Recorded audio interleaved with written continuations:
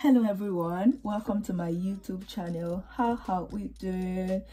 Oh so today i have the sketch of the body for you to make your body measurement easier and it helps you to understand it faster. After doing it you can try it on someone. It really helps to get it. Okay so follow me and let's get to the work of today.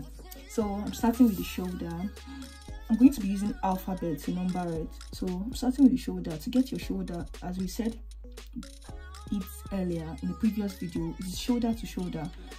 I'll be using alphabet to help us understand it better. So the shoulder, shoulder to shoulder.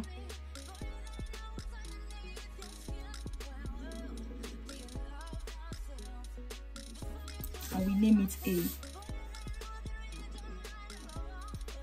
The next one is the nipple point so you measure it from your nipple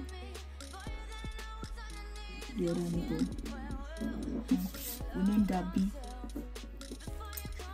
the next one is the round bust. The round of your bust. We name that c. And the next one is the under bust. The round of your under bust that D. You are following, okay. So the next one, you measure from your the bust point, which is from your shoulder down to the bust.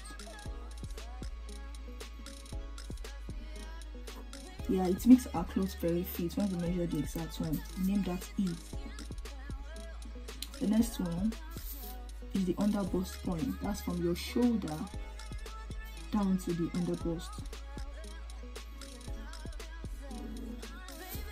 meaning that F. Ensure it reaches the underbust it makes it very perfect. So the next one will be the half length. Enjoy your half length. That's G the next one we measure the hip the hip is that point where it is curvy. You can see your whole curved body in that H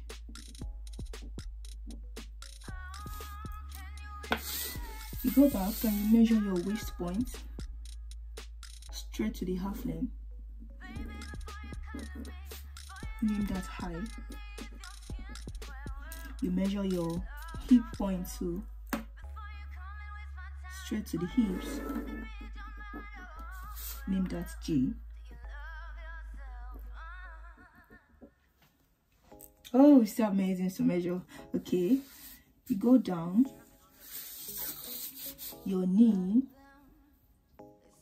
You can ask me why do I have to measure my knee? At times to have a perfect shape you can just measure your knee or you can just remove like two inches from your hips. But there are times that you can measure your knee and just have maybe two inches to have this perfect dress. That's fine. So you measure your knee.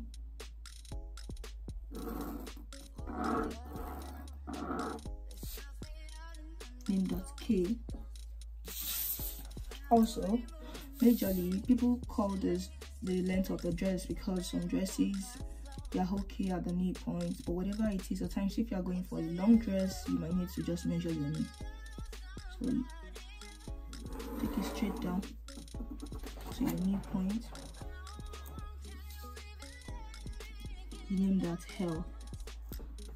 Yes. And the next one can go for your gown length.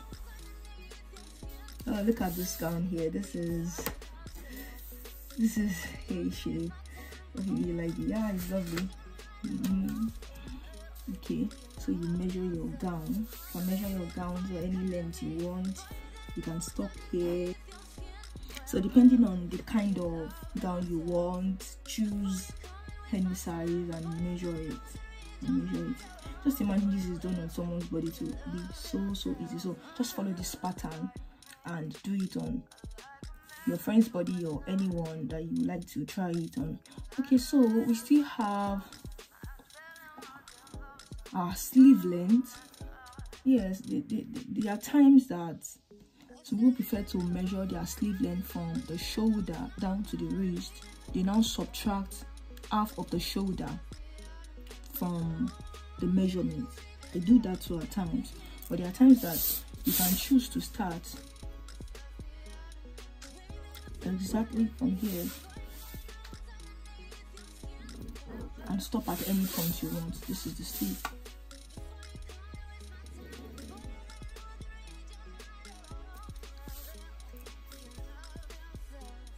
sleeve length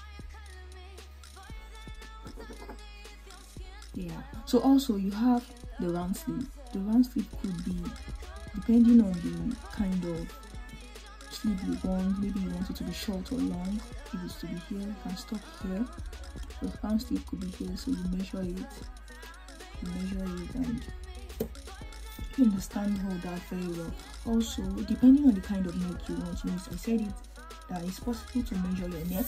If you need to measure your neck you know just put your ruler or your taper and just keep it depending on the kind of neck you want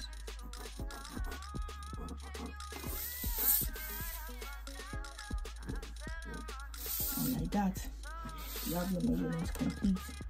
Yeah this is very very easy. Trust me it won't take you more than some few minutes.